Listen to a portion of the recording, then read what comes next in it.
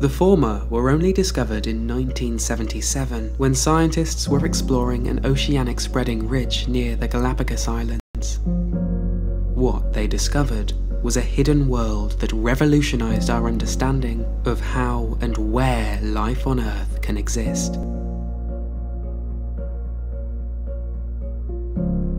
Since then, hundreds more vent fields have been discovered, often at depths of 2 kilometers or more along Earth's convergent plate boundaries, and at seafloor spreading regions where the oceanic crust is moving apart.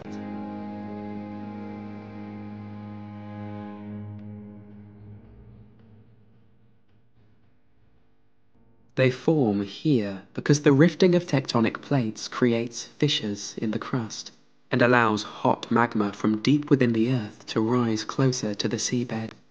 Upper parts of the sea floor are very permeable. Cold seawater enters and percolates down through the crust where it becomes superheated and takes up minerals from the surrounding rocks. This mineral-rich fluid then jets back into the ocean at extremely high velocities and temperatures exceeding 400 degrees Celsius.